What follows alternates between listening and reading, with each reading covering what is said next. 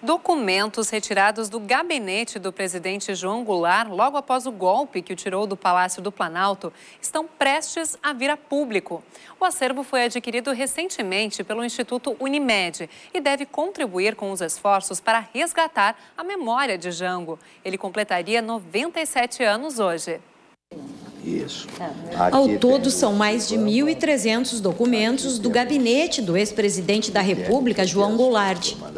O material foi recolhido pelo então oficial de gabinete de Jango um dia depois do golpe militar que depôs o presidente em 1964.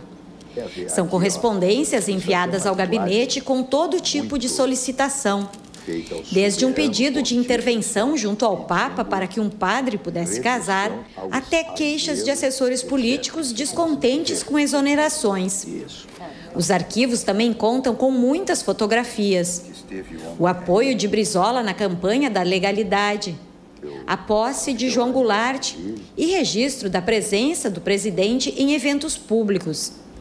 O material, que agora pertence ao Instituto Unimed, vai ser utilizado para reconstituir esse período da história do Brasil. Certamente aqui nós vamos encontrar bastante material que pode ser estudado, desdobrado e até servir como interpretação de alguns fatos históricos assim que ainda estão um pouco nebulosos. O próximo passo do Instituto Unimed é firmar um contrato com uma instituição de ensino e pesquisa para estudo e catálogo dos documentos.